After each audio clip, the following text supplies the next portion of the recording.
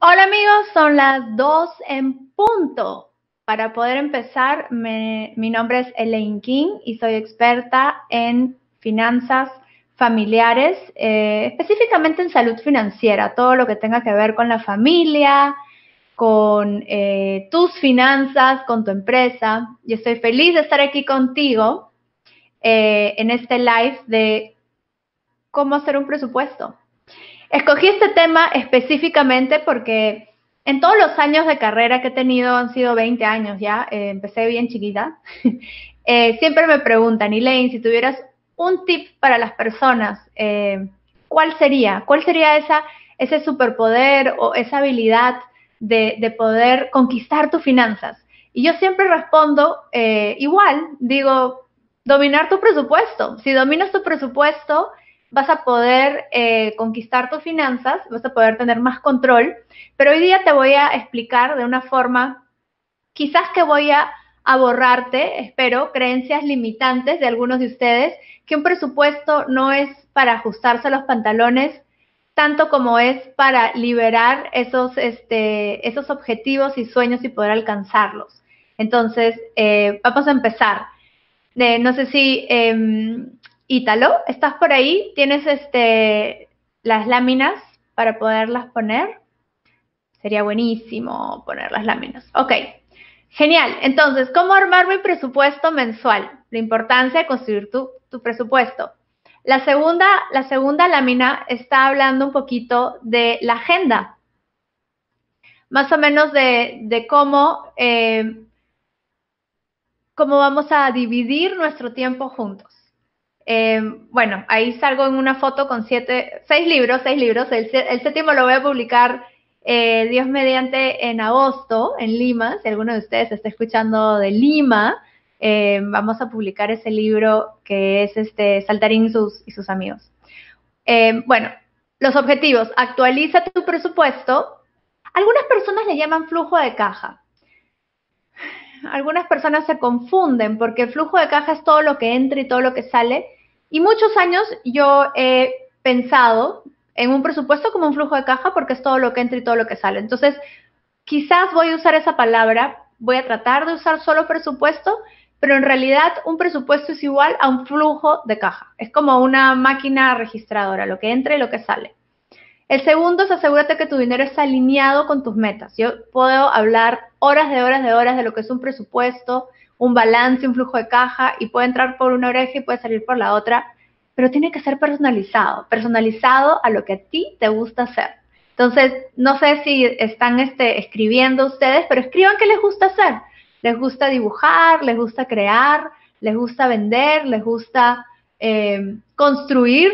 Entonces, ese presupuesto tiene que tener todos los elementos que te gustan hacer a ti, porque si no, es aburrido, ¿no es cierto? Entonces, vamos a empezar contestando la primera pregunta. La primera pregunta es, en la siguiente lámina, es ¿qué es un presupuesto y cómo lo hago?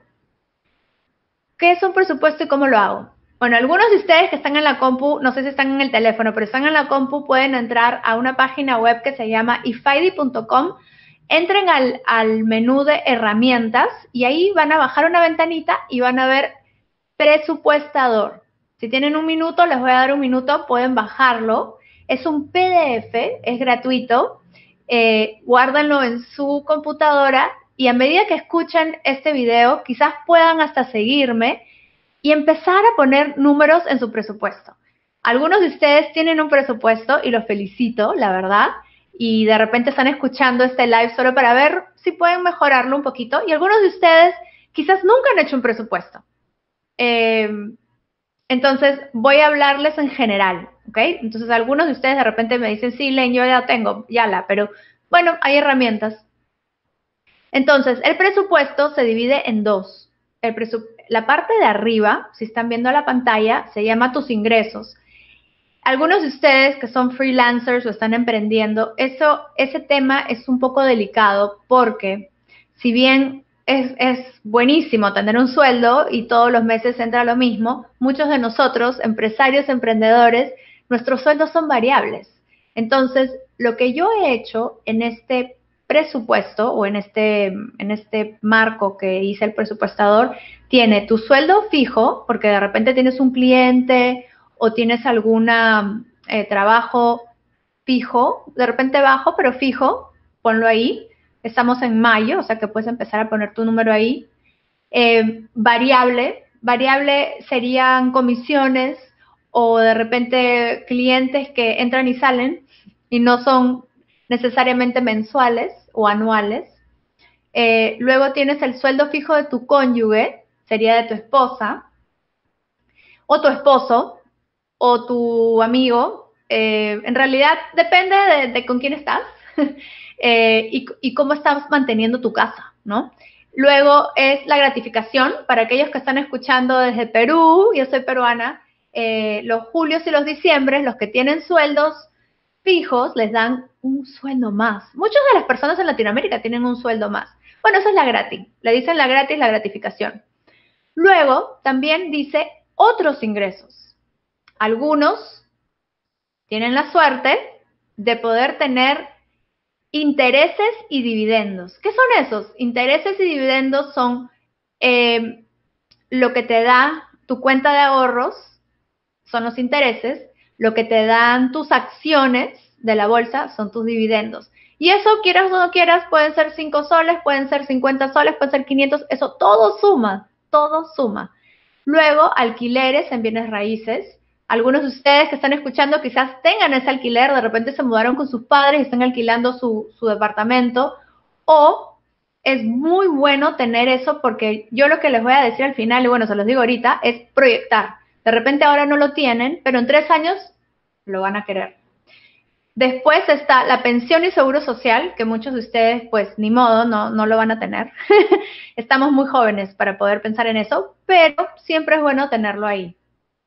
Y otros, otros pueden ser regalos eh, o, de repente comisiones esporádicas que tengan, eh, ventas, de repente algunos de ustedes están eh, organizando su oficina o su casa y han vendido una computadora antigua. Cualquier cosa que entre a tu bolsillo, tienes que ponerlo ahí. Esa es la parte de ingresos. Ahora vamos a la parte de gastos. No sé si ustedes me quieran decir si la entendieron bien la parte de ingresos, porque la parte de gastos es un poquito más complicada, eh, pero la parte de ingresos es, sencillita. La parte de gastos se divide en dos. Y yo siempre digo esto, eh, bueno, por lo menos soy constante, pero siempre digo esto, es que la clave de tener independencia, independencia financiera, es mantener tus gastos fijos bajos. No sé si me han escuchado, tener sus gastos fijos bajos. ¿Ok?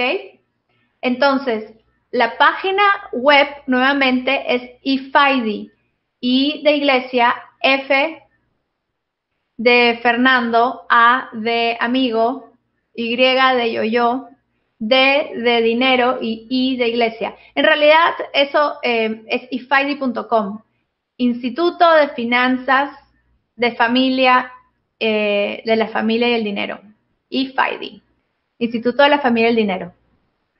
Bueno, entonces, eh, estábamos hablando de los ingresos y ahora vamos a los gastos. Los gastos son todo lo que sale, ¿ok?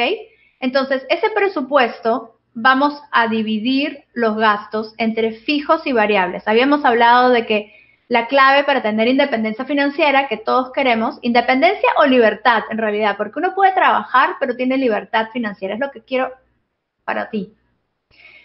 Gastos fijos. Gastos fijos son cosas esenciales y ahora en las noticias con la pandemia, etcétera, están escuchando mucho de eso, que son cosas esenciales. Esenciales son la comida, cosas que necesitas gastar, tengas o no tengas ingresos. La medicina, la gasolina en algunos casos, em, el celular, por supuesto, la luz para la computadora y algunas cosas esenciales en mi caso eh, son suscripciones, por ejemplo, mi Outlook, eh, mi Zoom, em, tengo, tengo, diferentes eh, suscripciones a, sistemas Intuit, mi sistema de facturación, todo para mí eso es fijo.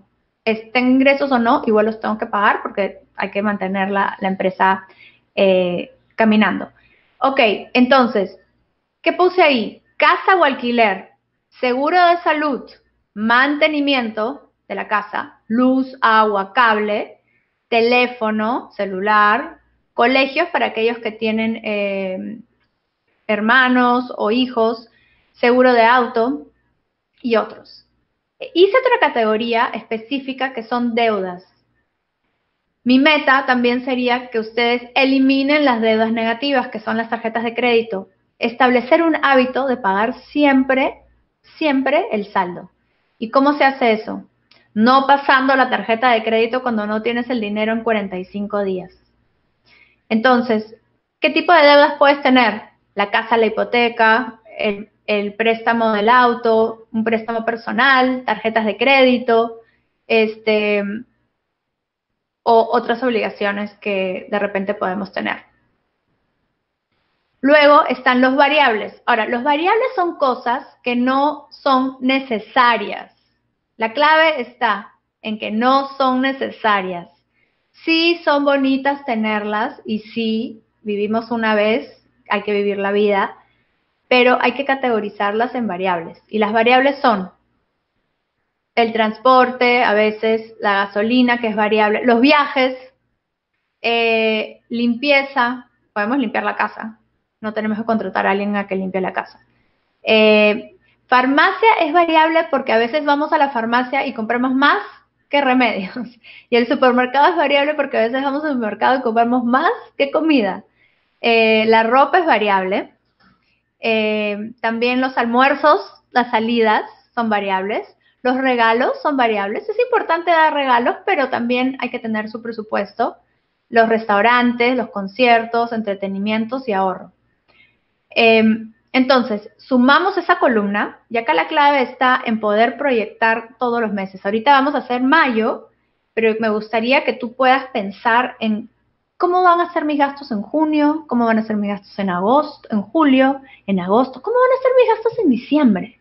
Eso es muy interesante poder proyectarse, porque si tú te proyectas y planificas bien tus finanzas, hay una probabilidad muy alta que vas a llegar. Entonces, para finalizar esto, ingresos, gastos fijos, gastos variables, tu fondo de emergencia. En otra ocasión vamos a hacer un live y vamos a explicar qué es eso. Si no, puedes ver mi canal de YouTube y ahí tengo un videito. Revisar semanalmente es importante. Mensualmente, si ya eres un as, Deudas, ahorro con nombre. Ahí hay que poner el ahorro. No sé si ven ahí que en variable está ahorro. Es importante poner un monto de ahorro. Y otros recursos de apps. ¿A qué me refiero con eso? Que pregúntale a tu banco. En Perú hay algunos bancos que ya tienen sus aplicativos. Y ahí puedes administrar tus cuentas para que no te salgas de tu presupuesto. En Estados Unidos hay un aplicativo, no sé si lo puedan bajar, eh, que se llama mint.com, M-I-N-T.com. Es muy bueno porque puedes establecer tu presupuesto y te da alertas cuando te pasas de tu presupuesto, porque se encaja, se, engancha con tu banco. Ok, entonces vamos a la siguiente lámina. Y en la siguiente lámina eh, es la segunda página del presupuestador. Lo lindo de este presupuestador eh, es que te evalúa más o menos cómo estás cómo está el ratio entre tus fijos, tus deudas, tus variables y tus ahorros. Idealmente deberías de tener, hasta el modelo, 15% de tus, de tus ingresos en ahorros.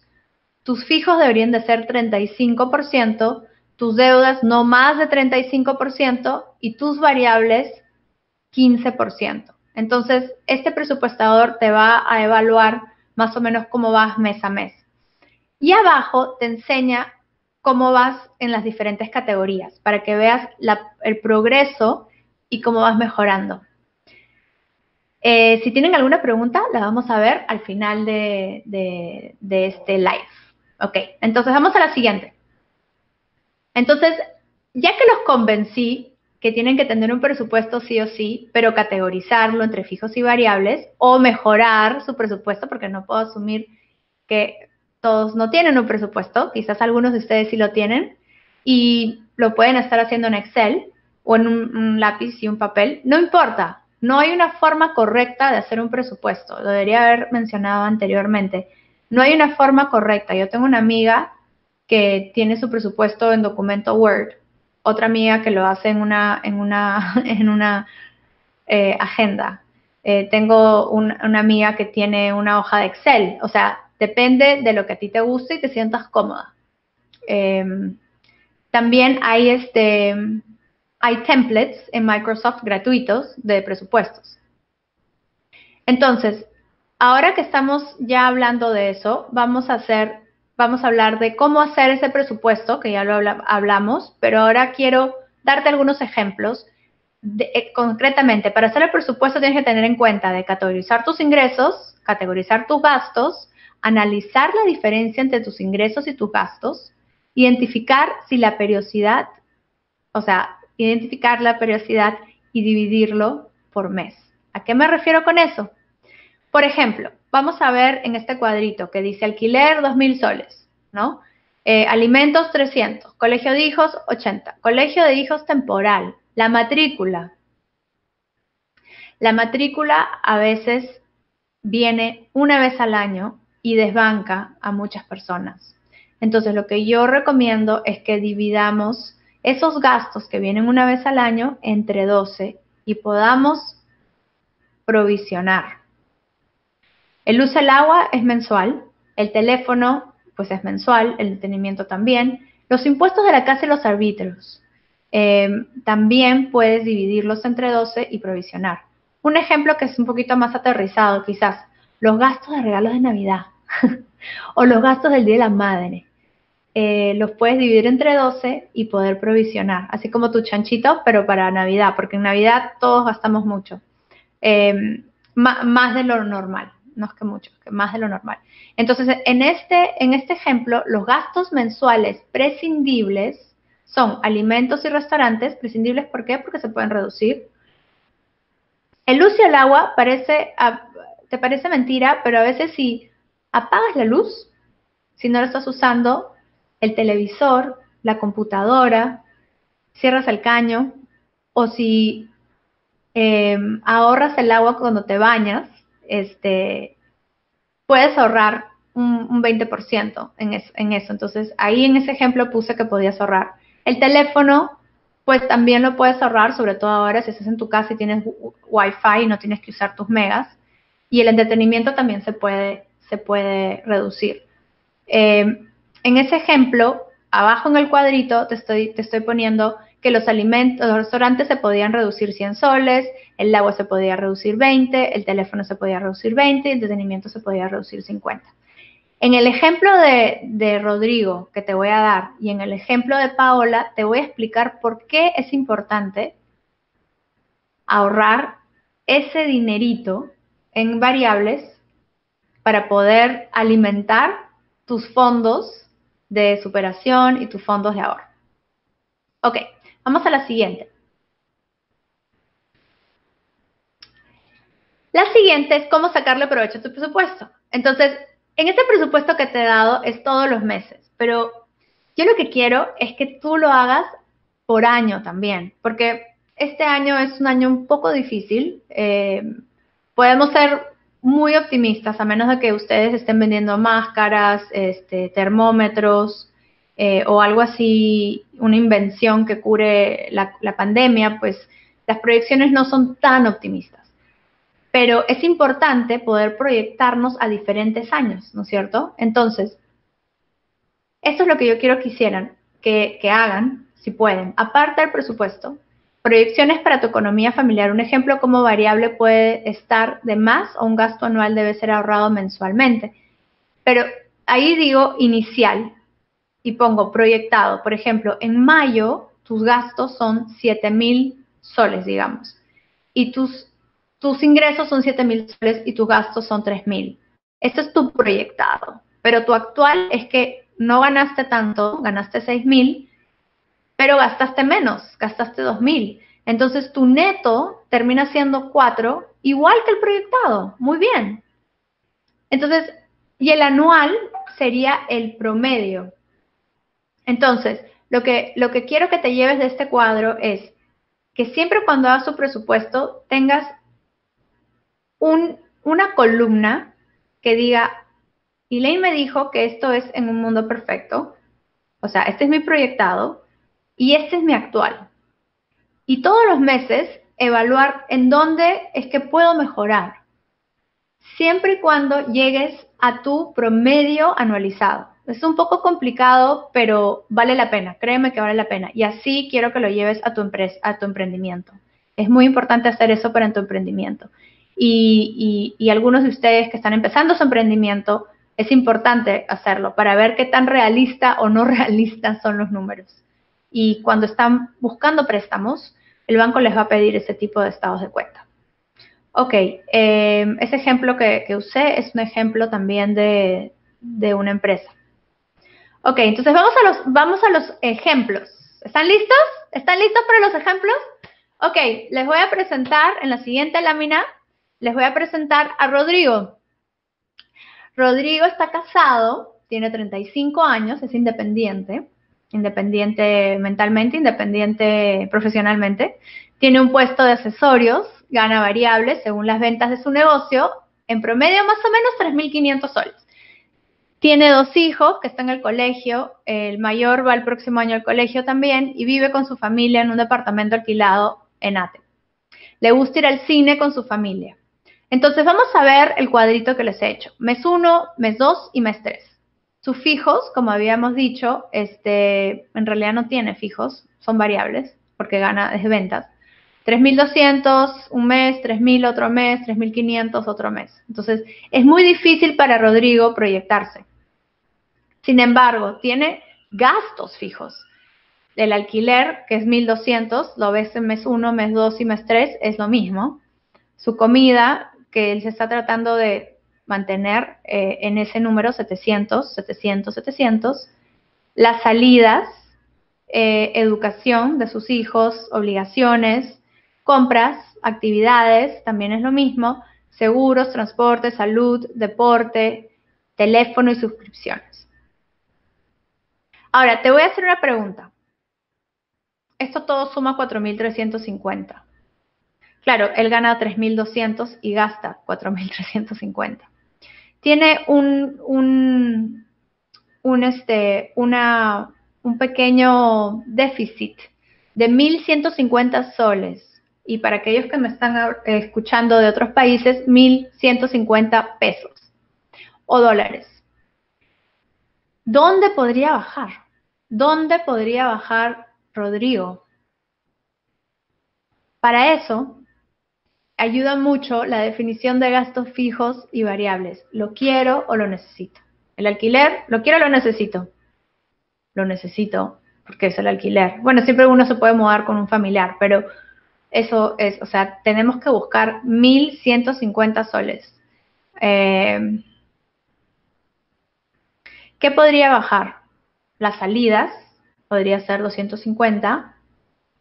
Eh, obligaciones, las compras, podría bajar 250, ahí vamos 500 más o menos. Em, actividades podríamos bajar, van 700. Em, suscripciones, otras salidas, son 100 más. Hay, hay, dos salidas, o sea que si sale mucho, pues hay que, hay que ahorrarlo. Entonces, podría ahorrarse como mil soles y va a tener un déficit de 150 pero van a haber meses que va, que va a vender más. Entonces, él tiene que promediar para que le pueda alcanzar y de repente usar o un préstamo o ahorros, el fondo de emergencia, que un día de estos le voy a enseñar cómo hacer, y em, para poder, para que le alcance el mes, básicamente. Algunos de ustedes de repente me están diciendo por qué no se cambia de trabajo. Bueno, sí, también puede cambiarse de trabajo, o puede conseguirse un roommate, ¿no? Ya que es independiente, un, compañero de cuarto y puede reducir esos 1200. Claro, son algunas ideas, pero quiero que piensen también de repente en las preguntas, cuando abre, ah, voy a abrir el live para preguntas, quiero, que ustedes me digan, ¿qué harías si tú fueras Rodrigo? Eh, y ahorros, necesita hacer espacio para ahorrar para su carro, bueno, no para su carro, pero su fondo de emergencia de todas maneras. Ok, vamos a la siguiente. La siguiente es Paola. Paola es soltera, tiene 28 años, es diseñadora gráfica, trabaja en una agencia de marketing, pero también tiene trabajos como independiente. Su trabajo en la agencia le paga mensual 2.300 soles, como independiente tiene meses altos de agosto y noviembre, más o menos un promedio de 1.200. Y el resto de meses del año entra un promedio de 500 soles, viene, vive, vive en un departamento alquilado en Lince, quiere comprarse un auto. Entonces, Importante cuando uno está haciendo un detox de un presupuesto o está ahorrando, es importante saber para qué está ahorrando. Rodrigo está ahorrando para la educación de sus hijos. Paola está ahorrando para un auto. Ok, vamos a ver el presupuesto de Paola. Los fijos de Paola son 2.300 porque trabaja en una agencia de marketing y sus variables son 900. Suman 3.200 soles. Esos son sus ingresos. Sus gastos, em, bueno, ahí vas la casa, la comida, las utilidades, todos lo mismo mes 1, mes 2, mes 3, como verás, todos son fijos, fijos, fijos, son 2.800. 2.800 menos 3.200 son 400 soles que básicamente tiene espacio para ahorrar. Muy bien, Paola. Esos 400 tendrán que estar asignados al fondo de emergencia de Paola un porcentaje y un porcentaje al fondo de, auto, ¿no? O sea, porque si me preguntan qué hago con ese excedente, yo lo pondría un poco para el auto y un poco para el fondo de emergencia. Y vamos a ver eh, si están, si quieren hacer un poquito más este ejercicio, ¿dónde más podrías reducir los gastos de Paola? A ver, vamos a ver. Casa, comida, utilidades, salidas, obligaciones, compras, actividades, transporte, seguro, salud, deporte, teléfonos. Bueno, las salidas, ¿no? Porque están ahí dos veces y parece que gasta bastante en salidas. Eh, y las compras. Algunas cosas podría reducirlas. Cuando tienes un fondo y un propósito, es mucho más fácil reducir, porque reducir sin un propósito no tiene caso.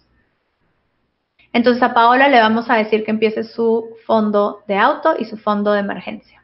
Entonces vamos a la siguiente lámina. Y esta pregunta es para ti. ¿Cómo estás manejando tu presupuesto? ¿Cómo lo manejas? ¿Lo manejas en papel? ¿Lo manejas en Excel? ¿Lo haces semanalmente? ¿Lo haces diariamente? ¿Lo haces mensual? ¿Lo haces anual? Em, ¿No lo haces? ¿Cómo, ¿Cómo haces tu presupuesto? No sé si, tienen algunas preguntas. Mientras que van pensando en preguntas y le vamos diciendo a Mariel que nos pase las preguntas, yo les voy a contar eh, cómo hago yo mi presupuesto. Mi presupuesto lo hago en una hoja de Excel. Y en una hoja de Excel porque los aplicativos para mí no son eh, flexibles, suficientemente flexibles, porque a mí me gusta hacer proyecciones, me gusta ponerle colores, me gusta proyectar mes a mes, me gusta ver diferentes años, me gusta hacer diferentes separatas. Em, lo hago mensualmente, sobre todo cuando voy a hacer los pagos mensuales, me meto mi presupuesto y veo los ingresos de diferentes fuentes y los egresos y, lo, y lo comparo mes a mes para ver dónde pueden haber mejoras y me proyecto, en mi caso yo vivo en una casa, y, en la casa eh, cada trimestre eh, me, llega una cuenta grande de seguro de la casa porque estoy en una zona que se puede inundar el agua, entonces eh, gastos de, casa, gastos de, el, seguro es contra viento, contra huracán, contra um, agua, entonces yo tengo que presupuestar y provisionar para, para esos meses. Bueno, ya han pasado 30 minutos. Eh, les he contado más o menos lo que es un presupuesto, cómo hacer un presupuesto. Les he dado dos ejemplos de Rodrigo y, Paola. Les he dado un tip para proyectarse. Les he contado un poquito de, mi eh, forma de hacer un presupuesto. Y creo que yo empecé a hacer presupuestos cuando me fui a la universidad.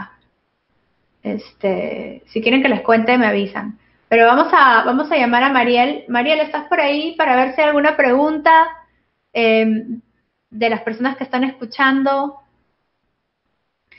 Y si no, vamos a la siguiente lámina de conclusiones y recomendaciones. La primera recomendación es actualiza tu presupuesto, flujo de caja, eh, versus proyectado, mensualmente, semanalmente, de ser posible. Asegúrate que tu dinero esté alineado con tus metas. Es muy importante que el dinero se alinee a lo que tú quieres. Y solo por hoy vamos a dar un 20% de descuento en las membresías premium de Creana, que está incluido en mi curso que se llama Finanzas para Freelancers. Eh, vamos a ver, las preguntas serían cómo hacer un presupuesto cuando tu trabajo dura tres meses a cinco meses y el salario es variable. Muy buena pregunta. Eh, si tu trabajo dura tres a cinco meses y tu salario es variable. Cuando tu trabajo dura... Ok, entonces voy a asumir que solo estás trabajando entre tres a cinco meses al año y obviamente tienes gastos anuales. Entonces lo que tienes que hacer es ahorrar ese monto y dividirlo entre 12 para que te alcance en esos 12 meses.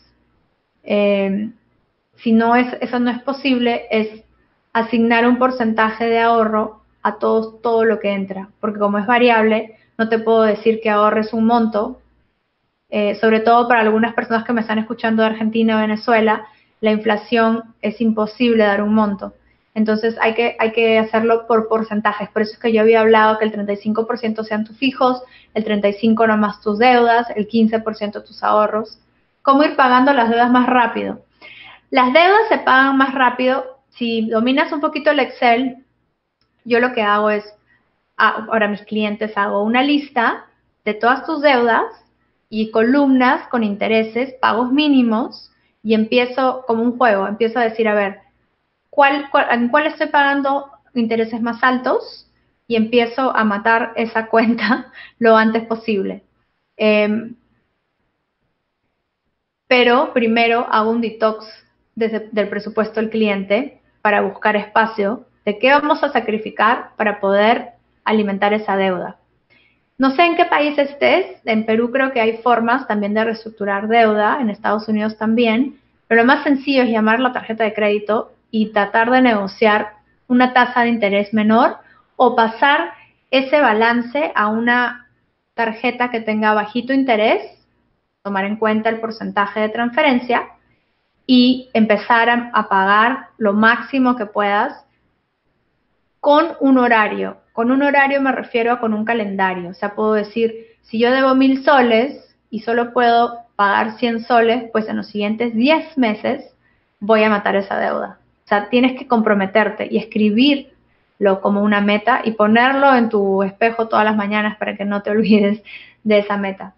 Em, que, que explique los otros ingresos con una realidad de Lima. Ok, los otros ingresos con la realidad de Lima bueno, tu sueldo fijo, si es que trabajas en una tienda o trabajas en, una oficina, sueldos variables es que si vendes, no sé, ropa o haces este negocios freelance o traduces eh, o escribes contenidos, em, alquileres, pues quizás no sea una realidad ahorita, pero es una buena proyección. Eh, comisiones, hay formas de hacer dinero por todos lados. Eh, yo como escritora, no sabía esto, pero cuando estaba haciendo mi tienda en la página web, yo ponía los links de Amazon porque todos mis libros están en Amazon. Pero alguien me dijo que hay una forma de agarrar un código para que Amazon te dé una comisión. Entonces, si a ti te gustan algunos productos y tú los recomiendas, puedes recomendarlos en tu página o en tu blog y, te, y Amazon te paga una comisión. Entonces, formas de hacer dinero hay. Eh, es cuestión de buscarlas. Em, ¿Cómo poder ahorrar en esta pandemia? Ok, el ahorro para mí es un porcentaje, no es un monto. Entonces, si desde la persona que, que recibió una canasta eh, de 700 soles, no gastarse todos los 700 soles, sino que ahorrar 70 soles o ahorrar un poquito más, un porcentaje. Eh, ¿Cómo ahorrar en la pandemia? El ahorro se hace de dos formas. Es ahorro de tus ingresos, o sea, un porcentaje de lo que entra, y ahorro de tus egresos. Si no estás ganando dinero, igual puedes ahorrar. puedes gastar menos. Puedes gastar menos, puedes comprar, eh, por ejemplo, puedes cocinar una vez a la semana, puedes congelar cosas en el, en el, en el refrigerador, puedes este, vender cosas que no necesitas. O sea, hay formas de, poder ahorrar en esta pandemia. Em, una persona me ha escrito que dice, me endeudé con un máster antes de la pandemia, tenía un presupuesto para pagar mi máster un año y medio, pero ahora con el problema de COVID no tengo mi seguro, ni seguro ni puesto de trabajo. Puedo, puedo minimizar mis gastos y pagar este máster en cinco meses, pero significaría acabar mis ahorros y terminar en cero. ¿Qué es mejor, acabar tus ahorros por pagar rápido la deuda o seguir teniendo un fondo? José, yo te recomiendo, y lamento la pérdida del trabajo, todos estamos siendo afectados por esto, todos. Em, y espero que esto pase rápido. Yo lo que haría si fueras tú, José, es yo pagaría un porcentaje de la deuda, porque si tú lo pagas ahorita todo, no sabes lo que va a pasar en cinco meses. Yo pagaría quizás la mitad y me quedaría con la otra mitad como un fondo de emergencia, o sea, no me quedaría en cero. Em, no sé tu tasa de interés, pero no dejaría de pagar un gran porcentaje de esa deuda, sobre todo si la tasa de interés tiene más, tiene más de, dos numeritos. Eh, ¿A qué me refiero? Que es más de 9%. Pagaría un, un porcentaje. O sea, míralo como dos fondos. Eh, la otra pregunta, acá hay otra pregunta que dice, los consejos para ahorrar e invertir al mismo tiempo, o sea, ¿cómo saber en qué invertir? Ok, entonces, para yo hablarles un poquito de inversión, tengo que tomar en consideración la audiencia. Hoy día hemos hablado del presupuesto. Los excedentes o un porcentaje son tus ahorros. La prioridad número uno, si tienes un poquito más de lo esencial, es que tengas un fondo de emergencia. La prioridad número dos es que tengas un fondo de ahorro con una meta de corto, mediano plazo. Si quieres comprarte una casa, quieres hacer tu empresa, necesitas un equipo de, de trabajo, la prioridad número tres es invertir. Ya estamos hablando de inversiones a largo plazo. Las inversiones tienen una consideración y también podemos ver otro live de inversiones porque este es un tema totalmente separado. Em, las inversiones implican riesgo y para tomar riesgo hay que poder tener establecidas las fundaciones eh, las fortalezas y los pilares de tu salud financiera. Entonces, ¿cómo uno puede ahorrar e invertir al mismo tiempo? Yo puedo establecer un porcentaje de ahorro, 10%, y puedo establecer un porcentaje de inversión, 10%. Entonces, sí se puede hacer. Ahora, no me, has preguntado cómo, no me has preguntado dónde, gracias. Te digo que sí se puede hacer. Este, en, mi caso, por ejemplo, estoy pensando para contarles, en mi caso, si yo también ahorro, tengo ahorros y tengo inversiones, diferentes, diferentes propósitos. Es muy importante tener eso en consideración. El ahorro a corto plazo con una tasa chica y la inversión a largo plazo que puede ser un, crecimiento más alto. Y sí se puede hacer. Eh, ya, la última pregunta. Repetir los porcentajes ideales de distribución. Ok, el 15% de ahorro, el 35% de este, si quieres, y te lo podemos poner esa lámina para, vamos a ponerla aquí, es la lámina 4. Es 35% de tus fijos, 35, no más del 35% de tus deudas, 15% de tus variables, y 15% de tus ahorros, idealmente. Eso sería, y, está en el, en el, presupuestador que les, que les este, recomendé bajar. Em, y sería ideal para los que pueden bajar eso, que, que me manden uno lleno. Y si me lo mandan esta semana, pues les puedo dar mi feedback. Em, vamos a poner aquí la última lámina para que vean mi, contacto. Mi contacto es elaineking.com, es mi página web, y elaine.elaineking.com es mi email. Si tienen alguna em, pregunta, me pueden seguir en las redes bajo el linking, Instagram, Facebook, eh, etcétera, Twitter, y me pueden mandar un correo con el presupuestador lleno. Bueno, ya con esa me voy. Les em, quiero hacer acordar que el presupuesto es clave para tener libertad financiera. Em, les deseo mucha salud financiera, diferente, y espero que puedan seguir mi curso. Y si han seguido mi curso, me encantaría saber de ustedes. Em, ¿Qué les gustó de esto? ¿Qué no les gustó? ¿Qué otras preguntas tendrían? Yo sé que las cosas de finanzas es algo un poquito eh, íntimo, digamos, ¿no? Entonces, si tienen más preguntas, me pueden hacer preguntas por el, por el chat eh, de Creana. Ok, bueno, me despido con un abrazo grande, mucha salud y que estén seguros y que esta pandemia les traiga mucha abundancia y mucha prosperidad. Nos vemos pronto. Bye.